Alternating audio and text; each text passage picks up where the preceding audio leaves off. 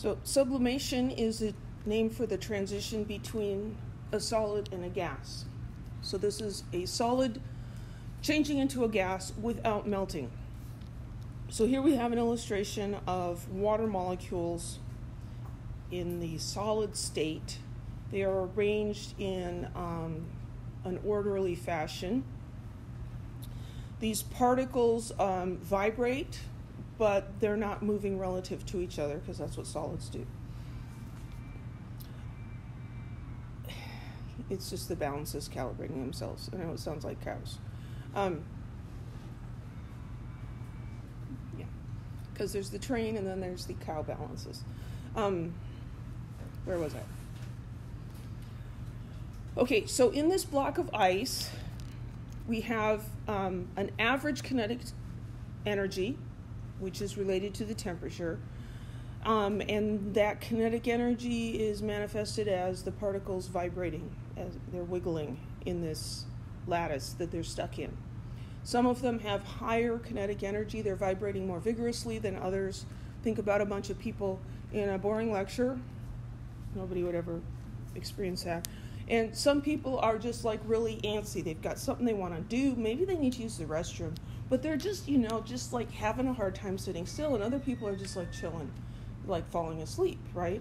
So some of these particles have higher kinetic energy the very very wiggly ones. Some of the particles have enough energy that they can just break loose from the solid and go directly into the gas state. That's called sublimation. Um, the opposite of sublimation going from a gas into a solid without condensing into a liquid first is called deposition. So if solids can sublimate, that means that solids also have vapor pressure. It's not very large, but they do.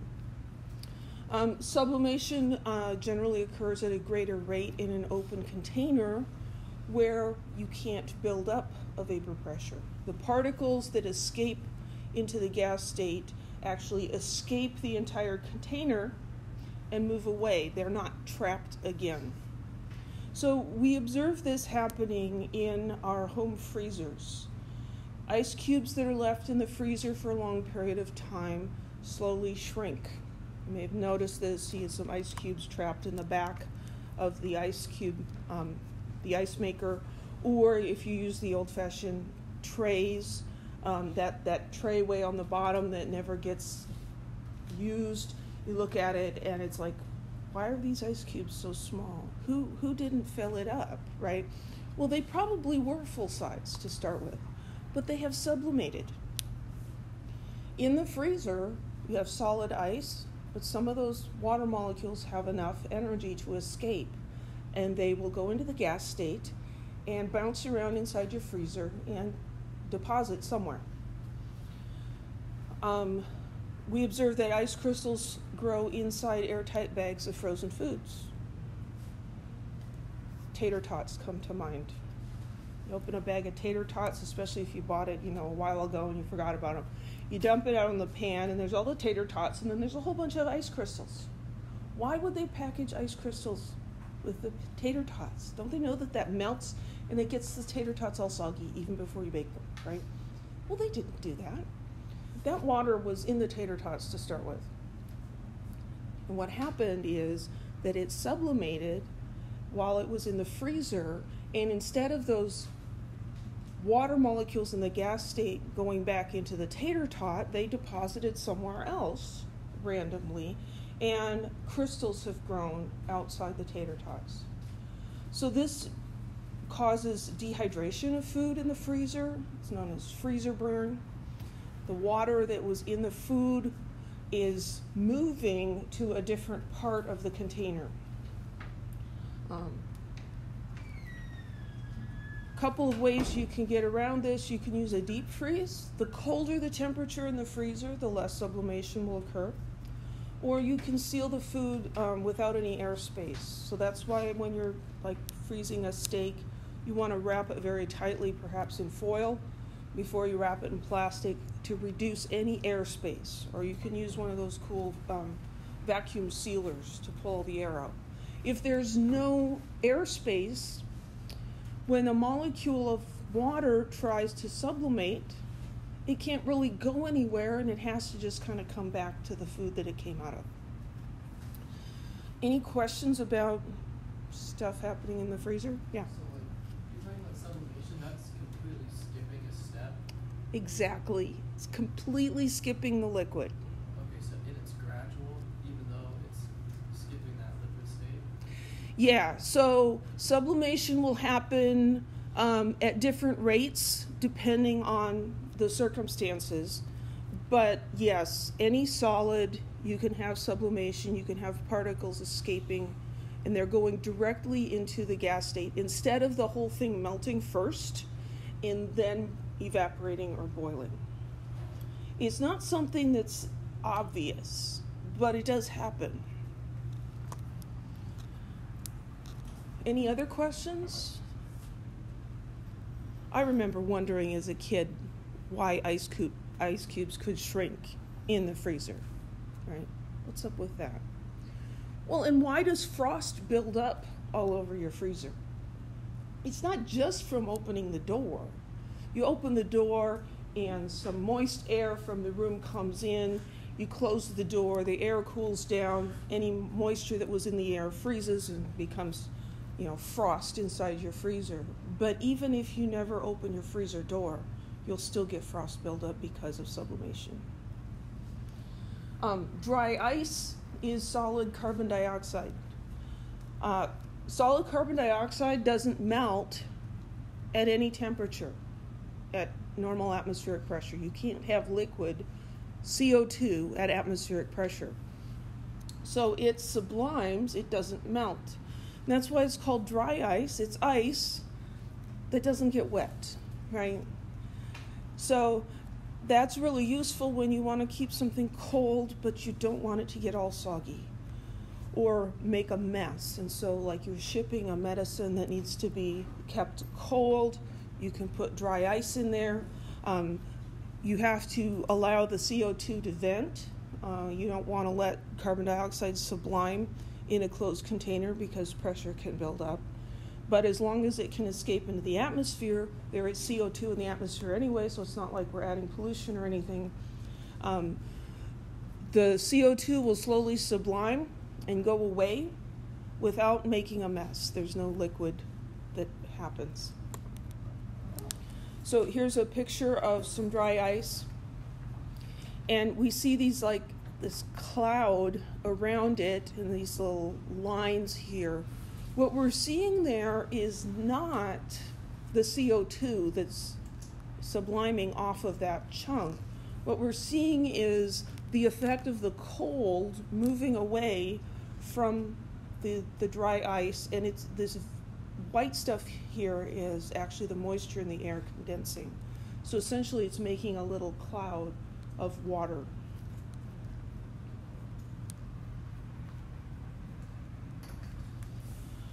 Okay, so that was the gas solid transition.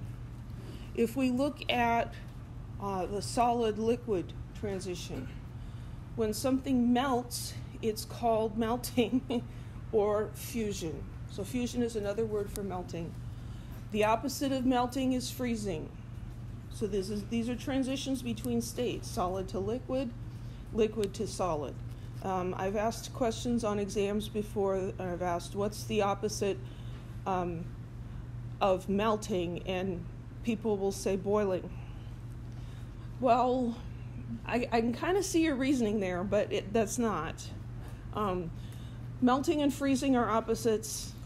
Boiling and condensing are opposites. Sublimation and um, deposition are opposites. Okay because that could come up on an exam.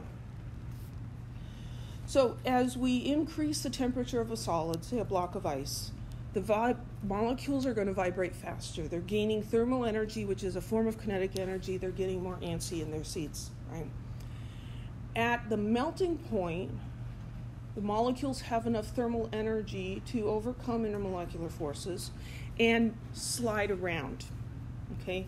And so the solid becomes a liquid. So, what we observe with a heating curve for a solid is similar to what we saw with a liquid. As you heat the solid, the temperature goes up until you get to the melting point. So for ice, this is at zero degrees Celsius.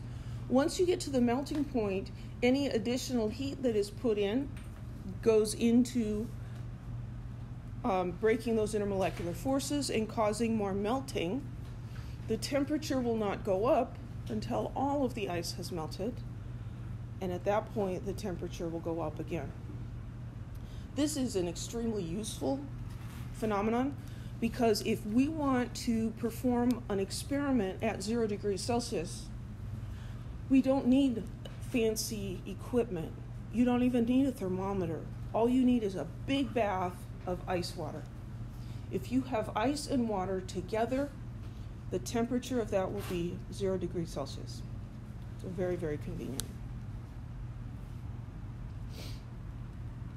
So, melting is an endothermic process. To melt ice, you put energy into it, right? We've talked about the transition between liquid and gas vaporization. We talked about the heat of vaporization. Here we're talking about the heat of fusion. So remember that fusion is melting. Um, that is not necessarily uh, an everyday use of the word fusion, although, like if you talk about fusion in terms of different sorts of um, cooking styles, you know, it's blending or mixing different ways of cooking.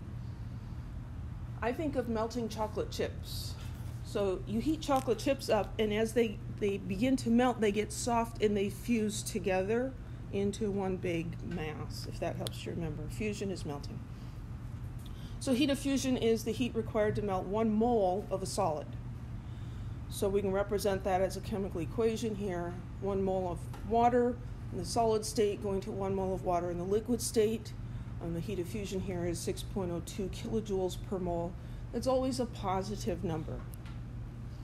So melting is endothermic. That means that freezing is exothermic. If you freeze a mole of water, you have to remove 6.02 kilojoules of energy per mole. So freezing being exothermic is not an immediately obvious thing. So you think about freezing a liquid, freezing water into ice, you don't think about that giving off energy. But how do you make it colder to freeze it? You have to suck energy out of it. That's what the condenser and compressor in your um, in your refrigerator, your freezer is doing. Is it's pumping energy, heat energy out of the inside. So freezing is exothermic.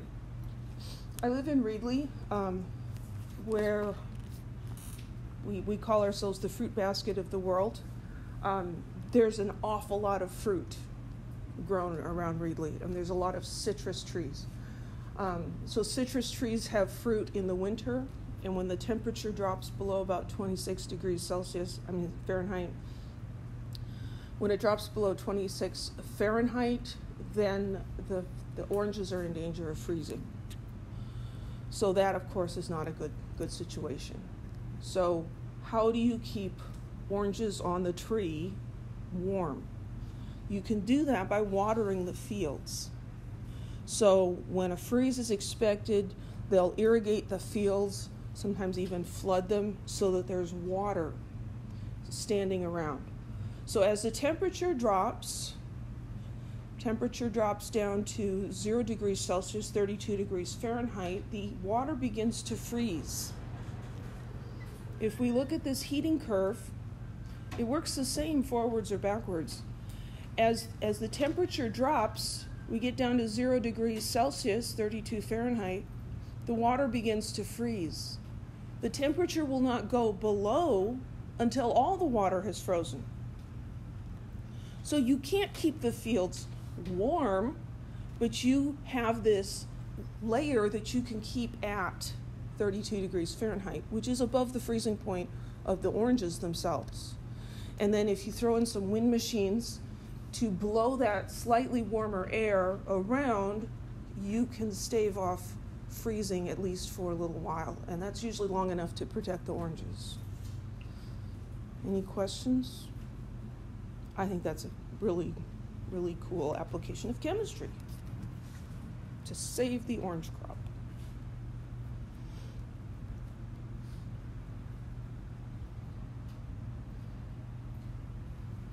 Uh, heats of fusion are generally smaller than heats of vaporization because to melt the ice, you only have to partially overcome the intermolecular forces.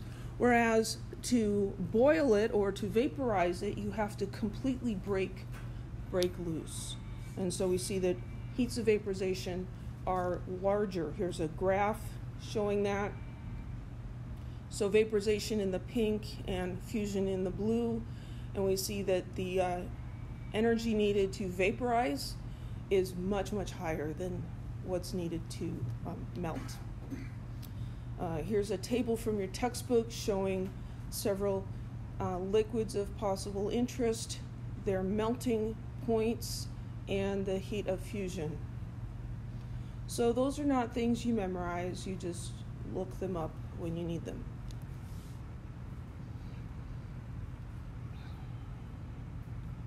So, here's a, an illustration in the next section. So, I'm going to stop this.